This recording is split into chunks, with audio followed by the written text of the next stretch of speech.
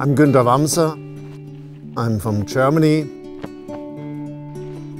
29 years ago, I started in Argentina with two horses. My idea was to ride from Argentina all the way to Alaska. My name is Sonja Endlweber. I saw an announcement of Günter's presentation of his trip from Argentina to Mexico, traveling 11 years on horseback. Let's go. And when I saw it, I realized this is the way you should live. And I just immediately know that's what I wanted to do. And I sent him this email saying, I'm coming with you. And it took some time to convince him, but finally he agreed that we could travel together, and that's how it all started out.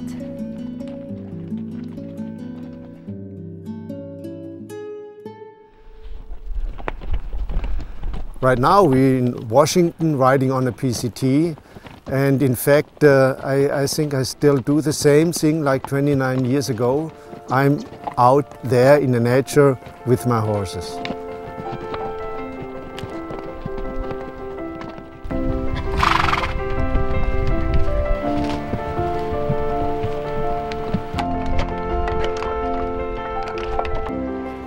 We both travel with uh, four horses, that means two riding horses, two pack horses. Our four horses, there have been wild Mustangs once. It's Dino, Lightfoot, Azabache and Rusty. And now since a year we have Charlie, our border collie. So uh, that's the team. We travel since 15 years together now.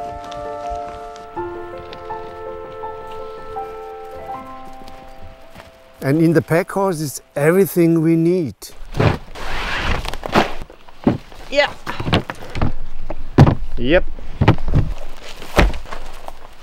So that means we don't have much. And if you go out for weeks, you cannot take stuff which doesn't work. You, you have only the choice to take a couple things, but they must be reliable. You know what I love about tents is that every night you can choose your, your the place for your home, and it's just like building a new house every night. This is a Keron 3 GT, which means it has, has the extension uh, of a vestibule. It gives you a lot of luxury space. Because we travel on horseback, we can carry the extra weight. Don't need to go that ultra light.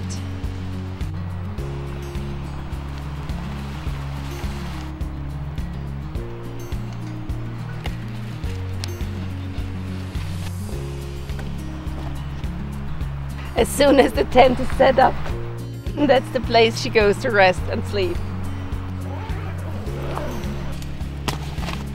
Good thing is that I'm so short, so this is how Günter and I sleep, and then Charlie gets her blanket here, which is a one of the horse blankets.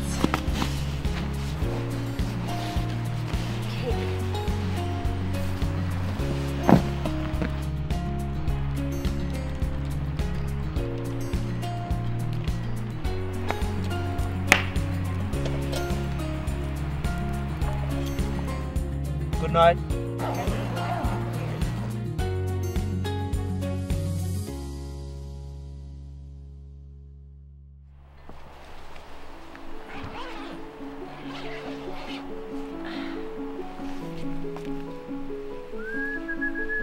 Come boys. Come. Traveling with horses, that makes your life to something really special, but it makes the traveling not easier. So if you decide to take a horse just because uh, you love horses or the horses carry your luggage, no, that's not the point why you take a horse. You have to have a passion. But to explain what's so beautiful with horses, horses are not a way of transport like, like a bicycle or a motorbike, they are your friends. And for so many years we travel together, so that connects somehow. And um, yeah, and uh, it's just beautiful.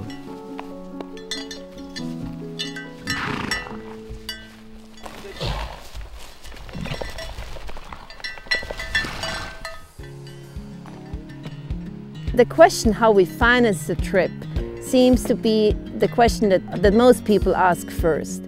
And it kind of surprises me because there are so many other questions that are way more difficult to answer.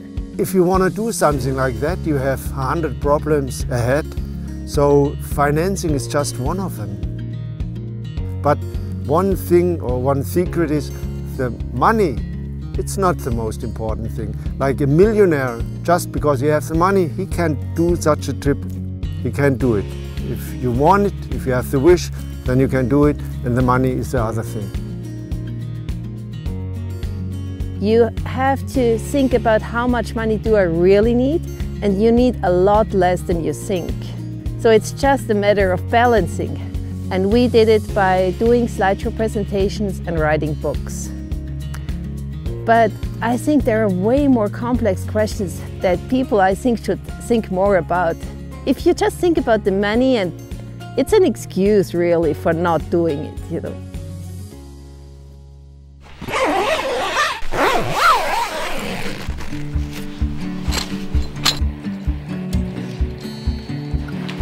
Günter was already using the Keron GT when I met him and I just love this, this tent, you know, it gives us enough room to live in it.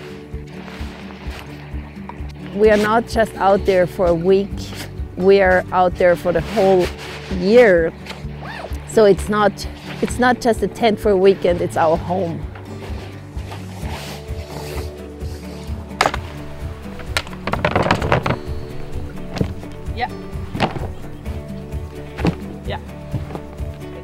So we are still riding on the PCT here in Washington.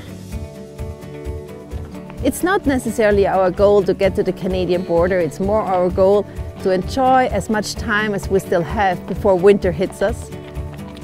And uh, then we, we want to travel down in Arizona. We have a permit to ride through the Grand Canyon. We would like to ride the Arizona Trail and into New Mexico get to the Gila River where in 2007 our trip together, Günter's and my trip started going up the Continental Divide Trail. So by then we will have done a big loop across the American West on horseback.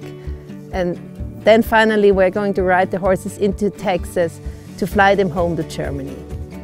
They have been traveling good partners for so many years and now we think with the age they need more attention and who can give them more attention like we ourselves. And uh, a journey which began with horses, after so many years it became a lifestyle.